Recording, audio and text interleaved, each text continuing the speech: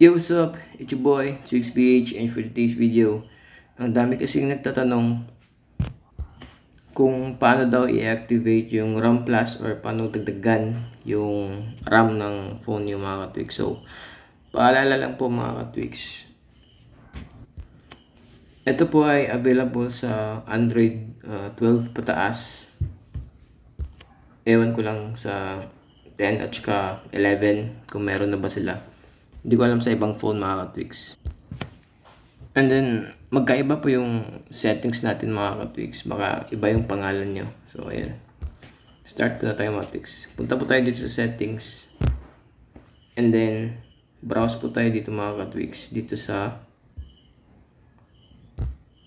battery and device care. Ayan. Baka po, sa ibang phone mga katwigs, iba po yung pangalan dyan. Sa amin po sa Samsung, ito po yung pangalan, Battery and Device Care. Or baka sa inyo, ang pangalan po is Advanced, advanced Feature. Hindi ko po alam mga tweaks. So, ayan. Punta po tayo dito. Ayan. And then, ito po, memory. So, ayan. Baka sa ibang phone, iba po yung pangalan yan. Baka RAM po yung nakalagay dyan mga katwigs. Ayan. So, Checking po siya mga katwigs. Ayan. Dito po siya. RAM plus mga katwigs. So, pindutin natin. Ayan. So, pwede kang mamili dyan mga katwigs. Ayan. 2, 4, 6, and 8. So, ang benefits po dito mga katwigs is mas napapa boost yung perform performance ng phone nyo. Mas napapabilis yung phone nyo. Gaya ng madami kang na ma-open na apps sa background and then mas bibil mas mabilis siyang mag-open or mag-launch ng apps. So, saan ba siya kukuha ng memory? Ayun. Doon po siya kukuha sa uh, storage po ng phone nyo. Kunyari, ang phone nyo is 128 GB.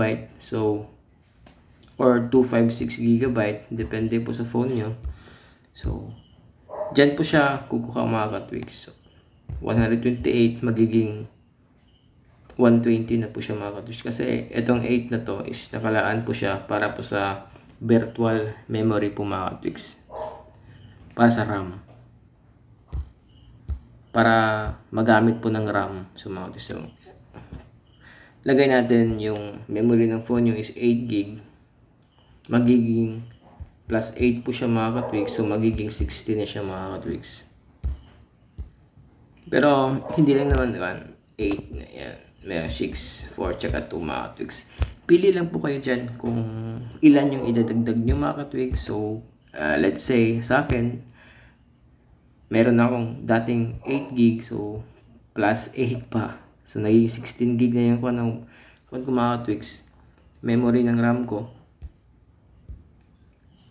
So, kitang-kita naman yung bilis mga katwigs. Uh, i-try niyo po mga katwigs.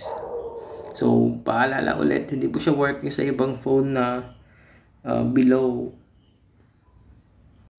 Android 12 mga katwigs. Pero, why not i-try niyo pa din. Hanapin niyo po sa phone niyo RAM Plus kung sa Samsung kayo or RAM Expansion kung sa ibang phone kayo. Kaya ng uh, like Oppo, mga, mga na phone mga katwigs meron po silang same feature ng uh, Samsung na RAM Plus. Pero iba, iba pa yung pangalan.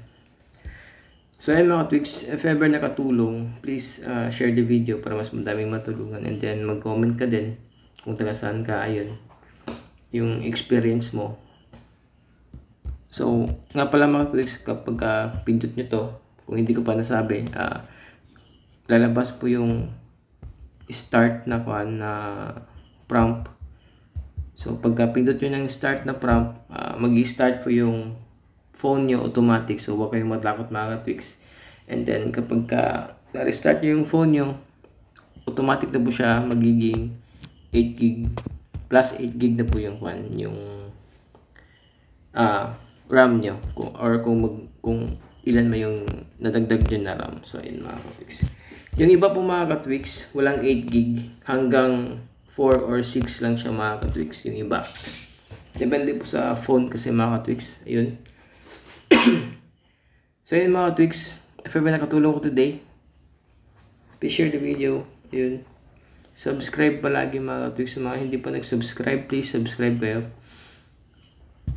Nang matulungan din po nyo yung channel ko. so ayun. I hope nakatulong ko today. It's your boy, 2 weeks PH. I'm out.